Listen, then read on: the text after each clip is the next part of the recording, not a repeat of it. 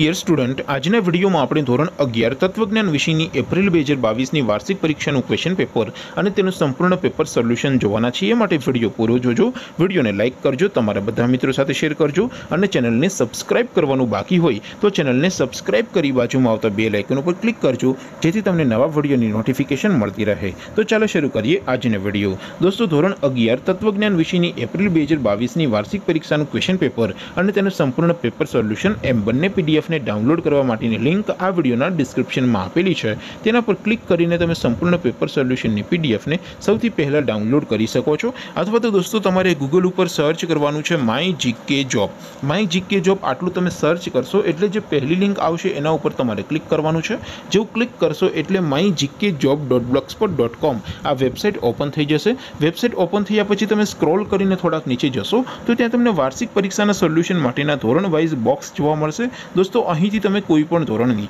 બધા જ વિષયોની વાર્ષિક પરીક્ષાના ક્વેશ્ચન પેપર અને તેના સંપૂર્ણ પેપર સોલ્યુશનની પીડીએફને સૌથી પહેલાં ડાઉનલોડ કરી શકો છો જેમ કે દોસ્તો અત્યારે હું ધોરણ અગિયાર માટે જે ધોરણ અગિયારનું છેલ્લું બોક્સ છે એના ઉપર હું ક્લિક કરીશ જેવું ક્લિક કરશો એટલે નવું પેજ ઓપન થઈ જશે નવું પેજ ઓપન થાય એમાં તમે સ્ક્રોલ કરીને થોડાક નીચે જશો તો ત્યાં તમને STD eleven commerce and arts paper solution બે હજાર બાવીસનું એક બોક્સ જોવા મળશે જેમાં દોસ્તો નીચે લખેલું છે એસટીડી ઇલેવન તત્વજ્ઞાન પેપર તેની સામે ડાઉનલોડ બટન છે તો એ ડાઉનલોડ ઉપર ક્લિક કરશો તો ધોરણ અગિયાર તત્વજ્ઞાન વિષયની વાર્ષિક પરીક્ષાનું ક્વેશ્ચન પેપર પીડીએફ ફોર્મેટમાં ડાઉનલોડ થઈ જશે તેની નીચે લખેલું છે એસટીડી ઇલેવન તત્વજ્ઞાન સોલ્યુશન તેની સામે પણ ડાઉનલોડ બટન છે તો એ ડાઉનલોડ ઉપર ક્લિક કરશો તો ધોરણ અગિયાર તત્વજ્ઞાન વિષયની વાર્ષિક પરીક્ષાનું સંપૂર્ણ સોલ્યુશન પીડીએફ ફોર્મેટમાં ડાઉનલોડ થઈ જશે તો દોસ્તો આવી રીતે તમે ધોરણ અગિયારના બધા વિષયોના વાર્ષિક પરીક્ષાના ક્વેશ્ચન પેપર અને તેના સંપૂર્ણ પેપર સોલ્યુશનની પીડીએફને my GK job dot blogspot dot com આ વેબસાઇટ પરથી ડાઉનલોડ કરી શકો છો તેમ છતાં કોઈ ક્વેરી હોય. કોઈ પ્રશ્ન ન સમજાતો હોય તો નીચે કોમેન્ટ કરીને પૂછી શકો છો.